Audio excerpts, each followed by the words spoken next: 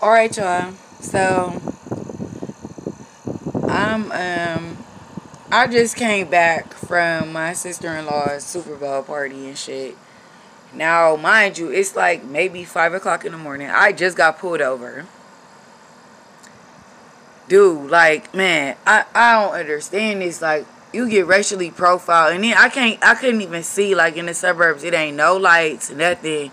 I needed help, and I got pulled over. They took my car though. My car in the impound right now. My daughter just fucking got home with me. We've been sitting at the police station for a minute though, like and the police is the one that drove me home. After that, the the one of the dudes that pulled us over, that his partner came back and took me home because he knew his partner was on some fuck shit.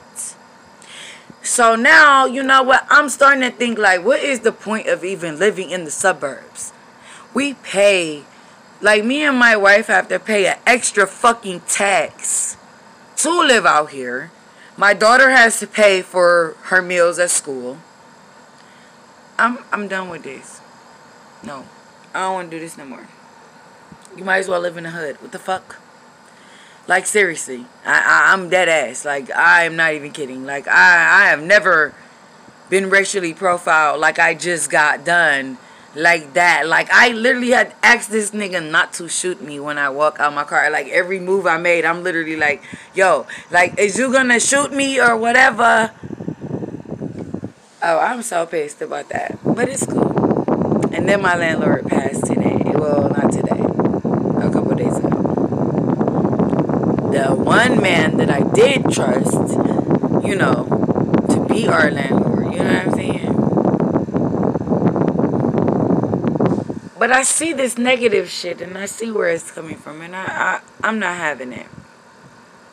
I block every negative entity trying to fuck up whatever the Most High has for me and mine. But I'm done. Like I don't, I don't want to try shit else no more. I'm just about to do me though.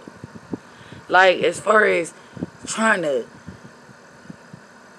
we was trying to do better, you know. But like honestly though, like it's not set up for us like that. So I feel like we just need to just do what we can for right now.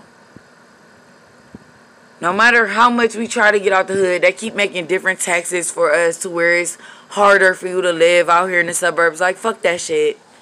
Nah.